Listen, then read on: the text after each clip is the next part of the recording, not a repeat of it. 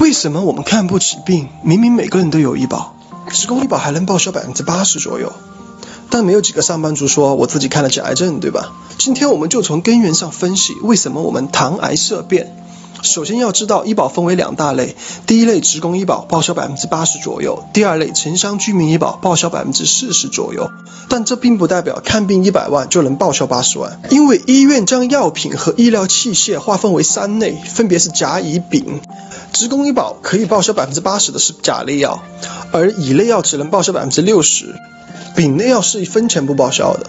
这或许还看不出什么问题，但我告诉你，这三类药分别的占比，甲类药只有一千多种，乙类药也只有两千多种，而一分钱不报销的丙类药呢，至少有十六万种以上。也就是说，职工医保能报销百分之八十的药，占比不到百分之一。虽然这百分之一的药能满足我们日常生活所需，但很多癌症需要的进口药、靶向药、特效药、副作用更小、疗效更好的药，都是属于一分钱不报销的丙类药。现状就是对癌症真正有积极治疗作用的药，基本上都是不报销的，或者最多报销百分之六十。我们以肝癌特效药索拉非尼为例，医保报销为乙类，就算职工医保报销后，患者还得每个月掏二点四万元左右的药费。如果你只是城乡居民医保，每个月药费自己就得承担四万元左右。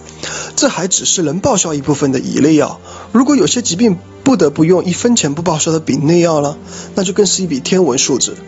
除开刚才所说的费用，还有肿瘤的基因检测、外购药、护工费等等大小费用，也都是医保一分钱不报销的。最要命的是，每天花费上万元的 ICU 重症监护室，医保最多能报销百分之四十左右。所以现在你应该知道了，为什么我们明明有医保，还是看不起病呢？